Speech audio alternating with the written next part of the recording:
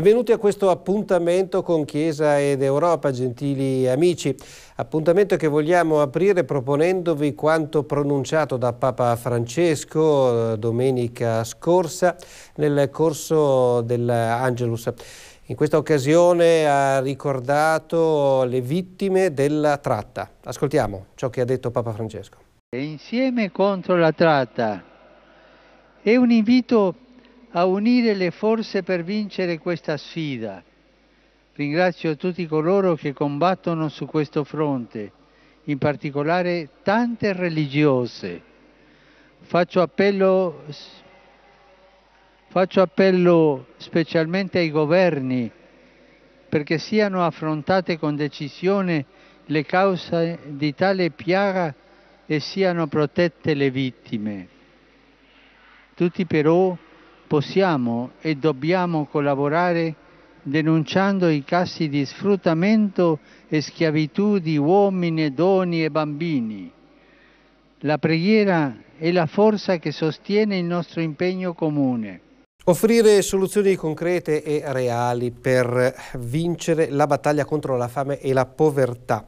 Questo è l'appello del Papa nel discorso pronunciato in spagnolo presso la sede della FAO al Consiglio dei governatori del Fondo internazionale per lo sviluppo agricolo. Papa Francesco ha esordito citando i bisogni e le necessità della moltitudine dei nostri fratelli che soffrono nel mondo quali ha aggiunto vivono situazioni precarie e da qui un elenco di quelle che sono le eh, problematiche, l'aria inquinata, le risorse naturali impoverite, i fiumi contaminati, i suoli acidificati, non hanno acqua sufficiente per loro stessi e per le loro coltivazioni, le loro strutture sanitarie sono molto carenti, gli alloggi scarsi e difettosi. Queste realtà si prolungano nel tempo, ha detto Papa Francesco, secondo il quale siamo di fronte ad una società che è capace di progredire nei suoi propositi di bene e vincerà anche la battaglia contro la fame e la povertà se lo vorrà seriamente. Passiamo ad un altro argomento e eh, ci occupiamo del Cardinal Newman che sarà presto santo. Ascoltiamo nel prossimo servizio il punto di vista autorevole di Giuseppe Iorizio, docente di teologia, che è stato intervistato dal collega della redazione di Roma Filippo Passantino. Il cardinale Henry Newman sarà presto santo, a stabilirlo è stato il Papa che ieri, riferisce la sala stampa della Santa Sede, ha ricevuto in udienza il cardinale Angelo Becciu, prefetto della Congregazione delle Cause dei Santi, ha autorizzato la stessa congregazione a promulgare i decreti riguardanti il miracolo attribuito all'intercessione del fondatore dell'oratorio di San Filippo Neri in Inghilterra, nato a Londra il 21 febbraio 1801 e morto a Edgbaston l'11 agosto 1890. Con la promulgazione del decreto sul riconoscimento di un nuovo miracolo attribuito alla sua intercessione, sarà santa anche la beata Maria Teresa Shiramel Mandichian, fondatrice della Congregazione delle Suore della Sacra Famiglia. Sarà beato il servo di Dio Salvatore Vittorio Emilio Moscoso Cardenas, sacerdote professo della Compagnia di Gesù. Cinque nuovi venerabili servi di Dio il cardinale Newman era stato beatificato da Benedetto XVI il 19 settembre 2010 il Beato Newman Presto Santo come si configura nell'ambito della Chiesa di Francesco? Direi che è una grande scelta di attualità perché il Beato Newman intanto ha una grande idea, che è l'idea secondo la quale l'assenso della fede è un assenso reale. E Papa Francesco già nell'Evangelicarium ci viene a dire che la realtà supera l'idea e quindi siamo di fronte a alla realtà di Cristo, alla realtà dell'Eucaristia, alla realtà della Chiesa, non di fronte a un sistema idealistico di tipo concettuale. Il secondo messaggio che viene da questa notizia e dalla, eh, dall'insegnamento del Beato Newman è che la dottrina cristiana non può essere intesa come qualcosa di rigido, ma è dinamica. E infatti lui scrive nel passaggio dall'anglicanesimo al cattolicesimo questa sua grande opera che è lo sviluppo della dottrina cristiana che deve essere uno sviluppo organico, cioè non può essere uno sviluppo nel quale si perde l'identità, ma nel quale l'identità si rafforza e si radica. Il terzo messaggio è il messaggio che viene dal grande tema di Newman, che è il tema della coscienza.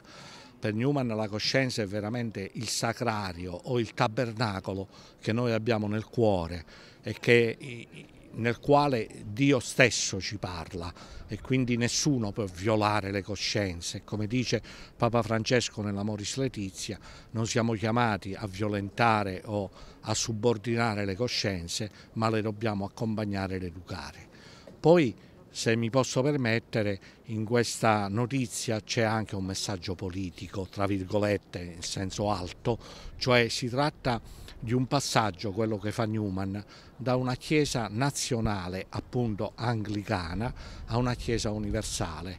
Ecco, nel momento in cui non solo eh, da parte dell'Inghilterra, ma in Europa e nella, nel villaggio globale ci sono venti di nazionalismo identitario in senso negativo, ecco questo messaggio di universalità credo che sia un messaggio che debba interpellare tutti. Si è riunita nei giorni scorsi a Bruxelles la Commissione per gli affari legali della Comece, la Commissione eh, degli Episcopati dell'Unione Europea. Il Presidente eh, ha eh, registrato questa dichiarazione nella quale sintetizza alcuni dei temi trattati in tale occasione. Today Oggi sono in questo luogo dove si riunisce la Commissione Affari Legali della quale sono presidente da quattro anni. Una commissione che è costituita da esperti provenienti da molti paesi europei, sono circa 17-18 persone e ci si raduna qui un paio di volte all'anno per parlare dei problemi fondamentali che preoccupano l'Unione Europea.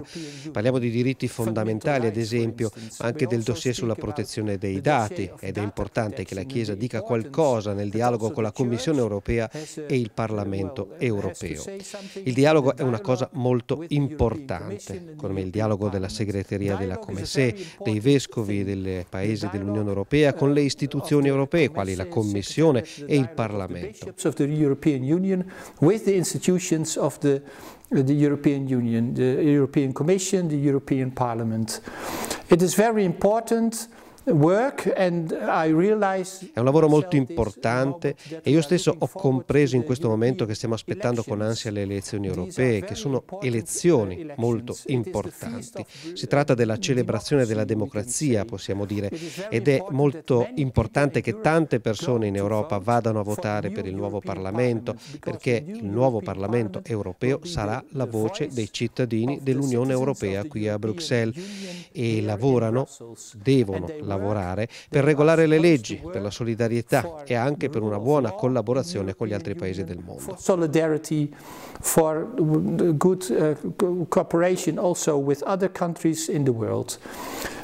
As, a, as Comesse, come, come se noi prendiamo posizione, siamo forti e lottiamo per l'importanza della dignità dell'essere umano, per la solidarietà e la sussidiarietà nell'Unione Europea. E per me è un onore essere il presidente di questa commissione, così come rappresentare la conferenza episcopale olandese in Bruxelles e nell'assemblea plenaria della Comesse. E vi chiediamo anche di pregare per il nostro lavoro qui nella commissione e per il futuro lavoro dei membri del Parlamento europeo. European Union. E sempre dai vescovi dell'Unione Europea è giunto un documento indirizzato ai cittadini europei e in particolare ai eh, cristiani in vista delle prossime elezioni europee. I vescovi della Comece hanno indirizzato un appello rivolto a tutti i cittadini europei perché si impegnino in questo periodo preelettorale e alle elezioni. È il contenuto di una dichiarazione intitolata Ricostruire comunità in Europa ed è un documento nel quale si sottolinea il tema della responsabilità dei cittadini chiamati a decidere in questa fase di passaggio della legislatura. Il voto, si legge nel documento, condizionerà decisioni politiche che avranno conseguenze tangibili sulla nostra vita quotidiana per i prossimi cinque anni e le elezioni di maggio, scrivono i vescovi, arrivano nel momento giusto per compiere scelte politiche che sostengano una rinnovata fratellanza tra le persone e rilancino il progetto europeo. I vescovi della Comece ribadiscono come la Chiesa Cattolica stia partecipando da oltre duemila anni alla Costruzione europea, facendo un riferimento esplicito alla dottrina sociale ed evidenziando come oggi siano necessarie scelte politiche che portino a una rinnovata fratellanza e rilanciando il progetto europeo. Per i vescovi quindi è fondamentale che i credenti e le persone di buona volontà vadano a votare, esercitando questo diritto, guardando alla costruzione dell'Europa senza cadere nella tentazione di uno sguardo ripiegato.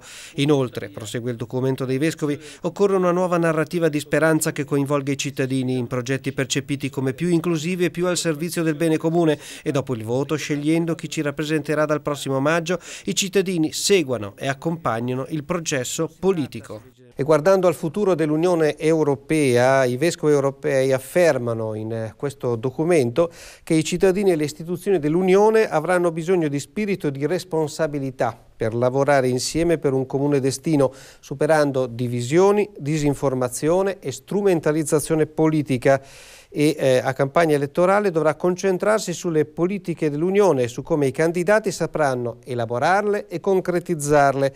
L'auspicio è che si presentino le differenti visioni evitando sterili contrasti. E sempre nel contesto dei documenti elaborati dalla Commissione dei Vescovi eh, dell'Unione Europea eh, c'è anche una riflessione che riguarda l'utilizzo della strumentazione, della robotica e il riferimento è anche alla centralità dell'essere umano che deve restare tale. Si intitola Robotizzazione della vita, l'etica in vista delle nuove sfide. È il documento risultato del lavoro condotto da un pool di esperti guidato da Antonio Autiero e voluto dalla Comece, la Commissione degli Episcopati dell'Unione Europea. In questo documento, disponibile online, dopo aver tracciato un quadro di insieme di quella che è la situazione oggi, vengono elencate una serie di vantaggi ed opportunità messe a disposizione dalla robotizzazione, ma anche lo sviluppo di quella che è una cultura non disposta a tollerare quelli che sono i limiti della persona. Ecco il perché di un invito nel documento a realizzare un'analisi etica di quelli che sono i progressi tecnologici sia sull'individuo che sulla società. Tutto questo in particolare nel momento nel quale i soggetti che agiscono vengono considerati agenti morali nelle condizioni di compiere scelte buone o cattive o che si arrivi a mettere in discussione la dignità e la centralità della persona umana. Ed ecco l'interrogativo nella relazione tra scienza ed etica, dove non volendo né demonizzare né respingere il progresso scientifico, viene valutato necessaria quella che è un'etica di ciò che è l'impatto della robotizzazione sulla società. Il documento evidenzia come più il potere umano sull'ambiente aumenta, grazie alle macchine, più gli esseri umani sono privati di azione e controllo con la conseguenza di mettere in discussione la dignità e la centralità della persona umana è pertanto necessario estendere il principio delle buone relazioni che in precedenza regolavano l'interazione umana con la natura e altri esseri umani per includervi i robot. Ma occorre anche tenere conto del principio della creaturalità. Le persone umane, nella loro libertà e imprevedibilità della natura, sono creature di Dio, i robot invece sono costruiti e programmati dagli umani. Ma soprattutto a governare la relazione tra umani e macchine deve essere il primato e la dignità della persona umana responsabile nel dare ordine e significato al creato. Perplessità sono emerse anche dalla lettura della recente risoluzione nella quale il Parlamento europeo propone l'attribuzione della condizione di persona elettronica ai robot più sofisticati e autonomi e raccomanda che questa definizione venga attribuita a quei robot che assumono decisioni autonome o in interazione con terze parti in maniera indipendente. Il documento redatto dalla Comesce dichiara che la costruzione di uno statuto legale per i robot non è convincente, collocandoli allo stesso livello delle persone umane, un assunto che è in contrasto con l'articolo 6 della Dichiarazione universale sui diritti umani. Nel documento dei vescovi viene evidenziata la necessità di un dibattito che sia aperto, al quale anche i cristiani possano portare un proprio contributo e nella revisione di quelli che sono principi e norme, ovvero il pilastro fondamentale che deve rimanere il primato della persona umana basato sul riconoscimento della sua dignità. In Irlanda è stata celebrata l'annuale giornata di preghiera per i sopravvissuti e le vittime degli abusi sessuali, durante la quale è stata letta una una preghiera e sono state accese eh, nelle cattedrali in tutte le parrocchie del paese le cosiddette candele dell'espiazione, chiedendo perdono come Chiesa per la sofferenza causata dall'abuso. È stato l'arcivescovo di Armagh, Martin, presidente dei vescovi irlandesi, ad illustrare nei giorni scorsi questa iniziativa. Accendendo queste candele, ha scritto in una lettera diffusa in tutto il paese, ricorderemo i nostri fratelli, le nostre sorelle, le le loro famiglie che sono stati abbandonati in una sofferenza permanente causata dagli abusi. La loro fiducia, ha, ha sottolineato il vescovo Martin, è stata profondamente tradita, la loro fede crudelmente messa alla prova e le candele vogliono essere un segno di pentimento, luce nell'oscurità e speranza.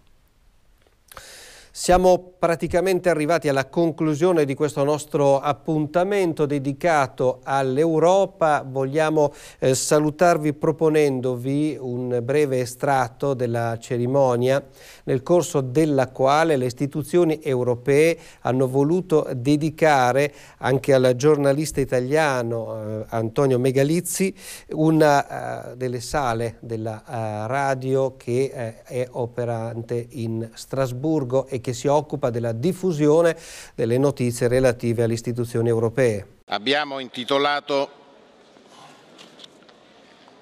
lo studio radiofonico del Parlamento europeo a Strasburgo ad Antonio Megalizzi e a Bartosz Piotr Orent Niedzielski, i due giovani giornalisti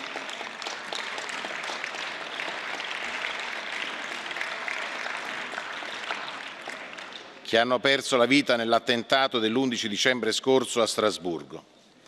Saluto a nome di tutti quanti voi le famiglie, le loro famiglie che sono oggi con noi. Questo per quanto riguarda eh, questa breve e eh, semplice ma eh, significativa eh, cerimonia, ma ehm, Antonio Megalizzi, lo ricordiamo, faceva parte di un pool di giovanissimi eh, giornalisti che lavorano in una radio destinata per lo più a ehm, ragazzi della loro età e eh, che si occupa della comunicazione sulle notizie relative alle istituzioni europee. Ebbene, eh, nel corso di una conferenza stampa alcuni di questi eh, colleghi giovanissimi hanno illustrato quella che è la loro idea di come raccontare ciò che accade in Europa. Ed è una forma mentis che perlomeno per quello che è la nostra esperienza italiana non viene supportato a pieno da, dalla stampa cartacea quanto anche da quella televisiva e radiofonica perché eh, lo stile comunicativo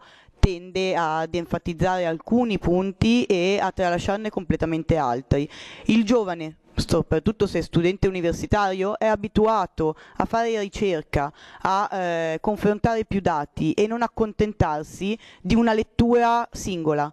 Quindi un grosso, se può essere un consiglio, è descrivete quello che c'è, non, non trarrete conclusioni.